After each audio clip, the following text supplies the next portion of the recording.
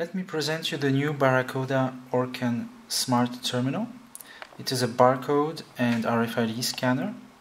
It comes with a small display with three preloaded applications. Standard allows you to scan a barcode and display. Quantity allows you to scan a barcode, add a quantity. And status is typically for delivery applications. You can design your own application by drag and drop through the Baracoda Desktop Manager we'll see later.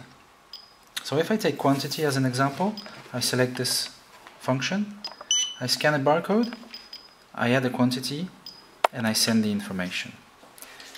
The information is received by the Baracoda Desktop Manager. So for this I have to drag and drop into the terminal application.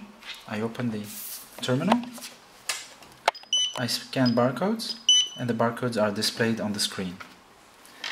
I can also configure uh, my scanner through this application. I drag and drop into settings. I open settings, select the scanner and change the settings of my scanner.